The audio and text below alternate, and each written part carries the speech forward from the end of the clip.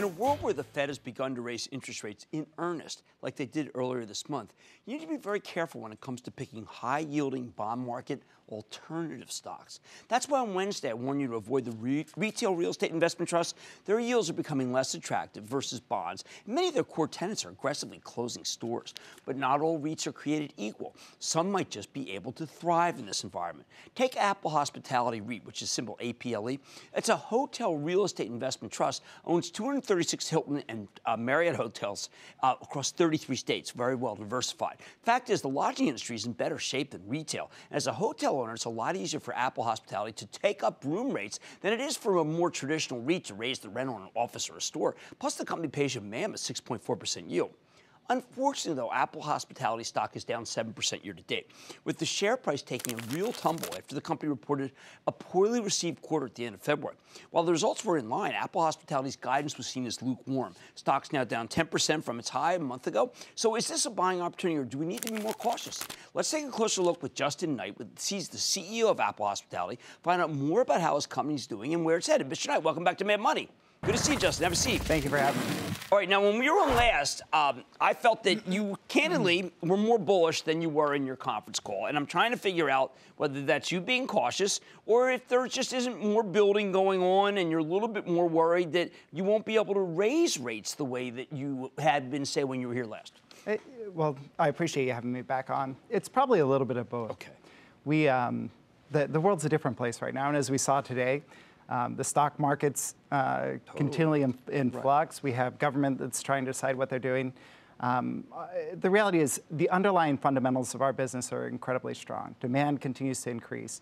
Um, the big question is, at what point do we see kind of the bump in the economy that enables us to really drive rates in a meaningful way? Well, but you did talk about in this one, in this conference call, that there's now more building. When we talk less, mm-hmm. we're talking about how hard it is to get a loan. It seems easier to get a loan, which therefore easier to have more hotels, which means therefore the supply's not as tight.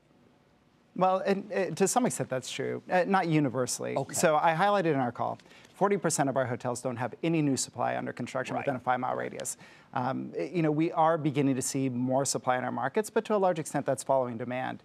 We've seen constant demand increase across the entire United States since 2010, every year, year over year, and we're projected to see uh, demand continue to increase after that. Which are your strongest and which are your weakest markets? Uh, we continue to see strength in Southern California. Okay. Um, uh, Phoenix is a great market for us. We're seeing strength in some of the uh, southeastern uh, markets in the United States where companies are moving for lower cost right. manufacturing companies right. and things of the sort. Um, we've seen some weakness in energy dependent markets, which right. shouldn't be a surprise.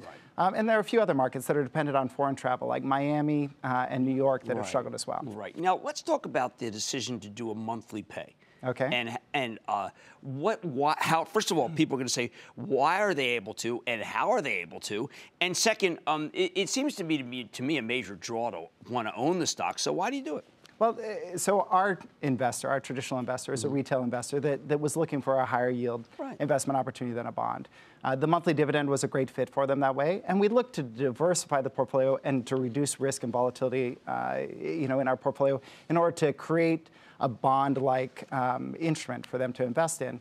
Uh, if you look at our performance um, in recent months, right. um, you mentioned we're down. We're still trading within a very narrow band, and the beta on our stock relative to other stocks is, is incredibly attractive. Well, the, the, monthly dividend adds uh, to the appeal for that type of investment. Okay, there was a, a comment, you know, Canaccord at the earlier this month, a good, re- a, a, very good research firm said that they think that your uh, revenue, that your RevPAR, a key metric, is set up to underperform peers, and they think that there's going to be margin erosion. Is, are they being too negative? Well, uh, I mean, in part, Canaccord was disappointed that we were conservative in our in our guidance for the year, and, and we've always felt that it's better to underpromise and overperform. Right. Um, you know, what they would like to see us do is more transactions. Um, right. There may be opportunity depending on the environment. Um, but in the meantime, six and a half percent return, we feel incredibly comfortable well, about you maintaining. did some transactions. You've been very good at get, at trading out of markets that you don't like and getting into markets that you do like. I found that you do that whenever you think it's right. Uh, we do. We recently acquired a hotel in Fort Worth. We're continuing to transact. We have a, uh, one of our hotels in Dallas uh, for sale right now um, that, that will trade here shortly. Um, you know, part of what makes our model work is looking at markets that have the greatest growth opportunity, shifting our portfolio in meaningful ways to drive shareholder uh, Last question. Um, you have four years old uh, portfolio. Uh, I know that after a certain number of years, you have to uh, remodel. Uh, you know, these hotels have to be remodeled because they do get beat up. But how young is that versus, say, the average of REIT that does hotels? Well, the, the, average age of our portfolio is 11 years. The effective age is four, meaning that our hotels have been renovated um, and or uh, built within the last four years.